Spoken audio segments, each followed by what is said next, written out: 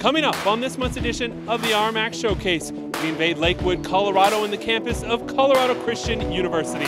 It's a family affair on the diamonds around CCU. We'll catch up with a family who are a big part of the baseball and softball teams.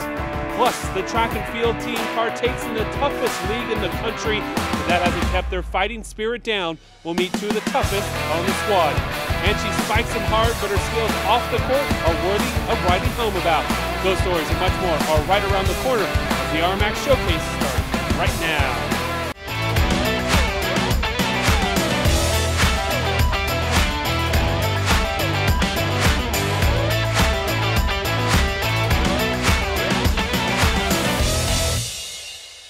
Welcome to the campus of Colorado Christian University, located less than 10 miles west of downtown Denver.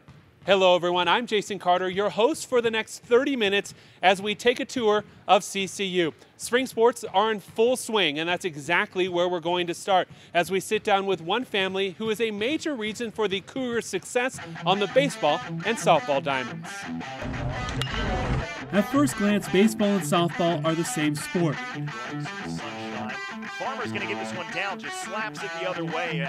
Sure, there are minor differences in the rules, but the idea is the same. That's what made the transition for Larry Hays so easy after more than 40 years coaching college baseball.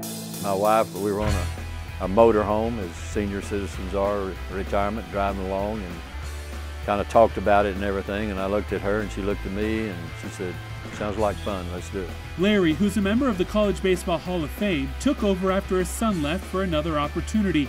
But that wasn't the only reason he picked up after 52 years of living in Texas. That's another reason why we've got two two grandsons, uh, Hunter and Heath, and they're playing baseball here, and so I had, I had, several good reasons to come, and th those are two important ones. He's such a, a great coach and a great man, and to have him here, not only coaching the softball team and just really being a great coach for them, but also a mentor to my brother and I as well. So having him up, him up here uh, has been a great experience as well. With 11 grandchildren, this isn't the first time Larry has coached younger members of his family. Three years ago, I had three of my, or four of my granddaughters on the team. Their high school coach died nine days before the season started, so filled in and, and uh, tough situation to take over, but when you got four granddaughters on there, it was a lot of fun. And of course, the only problem that we ever got beat, they blamed the hazes because we got so many hazes on there. Having our dad leave, we didn't really know what was going to happen yet, and then our granddad stepping up and just coming, coming back to coaching. Just even though he's not coaching our team, just him being around and just being a presence is is huge. Hunter and Heath, who have started nearly every game for CCU this year, are out of the running for the postseason with the baseball team. But Larry has the softball team fighting for a conference championship. You know, at our age, to have another opportunity like it and be around this team, this is a good bunch of girls, and uh, it's a fun team to coach, and they, they, they work hard, and so all the things that you enjoy in coaching is here. And uh, I'm fortunate to get to do it sometimes it's easy to take it for granted, but CCU is such a small place and like such a family environment that I always see my grandpa around and even on campus or at chapel. And um, I think that's it's really been cool because we're, Heath and I, even though we're in college, we're still, um, we've had the opportunity to be close with our grandparents. And um, even when my dad was here, it was just awesome because um, going away in college and not having your family can be tough, but um, we've had a nice mix and balance of having our space, but at the same time being able to be close with family and so it's been really a blessing. All those things, plus family, is what keeps the Cougars ticking. Sticking with the Diamonds in the early going, Jace Hampstead introduces us to one Cougar who takes the term student athlete to heart in this segment of RMAcademics. CCU athletes are led by the dominant women's softball team, which is coming off their best season in school history, thanks in large part to third baseman Stephanie Day, a true student athlete who loves her campus and her team. Um, what gets me uh, to come back every day are the girls. Um, and just how we come together and play for each other. And there's just so many different aspects, um, especially with softball. It's the one sport where you're scoring without the ball, and I think that's a really unique aspect of the sport. Coaching changes are nothing new in college athletics, and the softball team went through one this summer.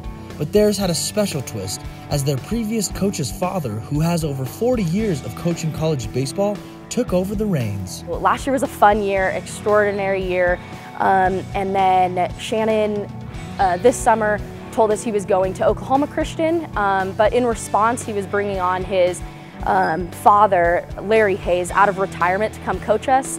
And so that was really fun just because um, we've known Larry since uh, my freshman year, so for three years. So it wasn't anything, no crazy changes. It was a cool year um, to just integrate family to the, the program. You know, at our age to have another opportunity like it and be around this team. This is a good bunch of girls and uh, it's a fun team to coach. And they, they, they work hard so all the things that you enjoy in coaching is here. Finding the keys to success varies from player to player and team to team. For this squad, it's all about chemistry. And one of the cool aspects about softball is that um, college softball is the highest you really can get. So we really play for each other. And when you play for the right reasons, um, that's where you find success. The success stems to more than softball. It's a lifestyle, and Stephanie Day has put just as much of that energy back into her campus, where she has spread her influence into the administration and student organizations. Last year, I was just on SAC, um, and then also I took on the role of applying for the athletic senator here on campus, and I really just like to hear the voice of the administration and students. This year, I decided to take on and uh, run for student body president for my senior year. And um, with all the support of coaches, roommates, teammates, um, and just students here on campus, um, I ended up winning and I'll be the student body president next year. Alongside those extracurricular activities, Day adds some sporting accolades to her resume, including first team All RMAC and first team All Region at third base. And I got a phone call from Shannon Hays and he said, um, uh, who am I talking to? And I said, it's, it's Steph Day. And he was like, no, I believe it's the first team All-American utility player. The key thing about her, she's an All-American person. She's an All-American student. She's a leader on campus, president of the student body, and uh, you know, just does everything right. I try not to focus on it at all. Um, I'm a teammate and I'm a person just like anybody else. Um, I'm just a third baseman um, playing the game I love. For the RMAC Showcase, I'm Jace Hamstead. Thanks, Jace. That does it for the first quarter on this month's RMAC Showcase. When we come back, we'll spend some time around the track. We'll be back after this timeout.